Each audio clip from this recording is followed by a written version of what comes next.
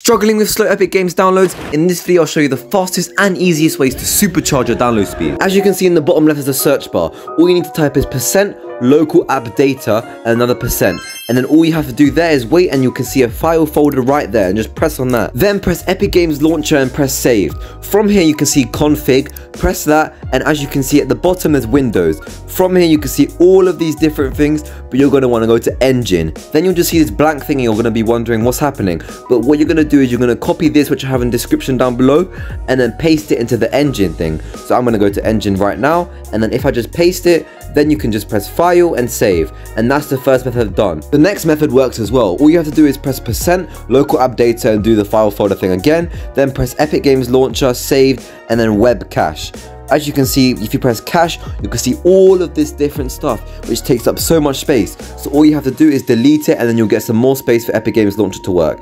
Then if you search up network connections you can see a Wi-Fi. Then if you just press change settings of this connection you can see all of these different things.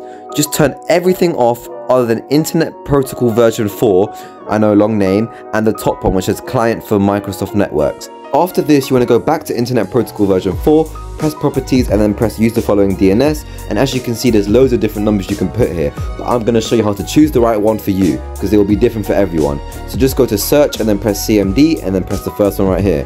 Then just press ping 8.8.8 and then you can see that it's 12 ms which is quite good but we can try another one so ping 1.1.1 and as you can see the average is 8 so that means 1.1.1 will be the better one. For the next method all you have to do is press Control shift escape and you'll be brought to this. Then press more details press epic games launcher and press go to details. From here you press set priority and then you can see that it could be high very high and all of this. If you set the priority to high it will be even better for the last and arguably the best method, all you have to do is press your profile and then press settings.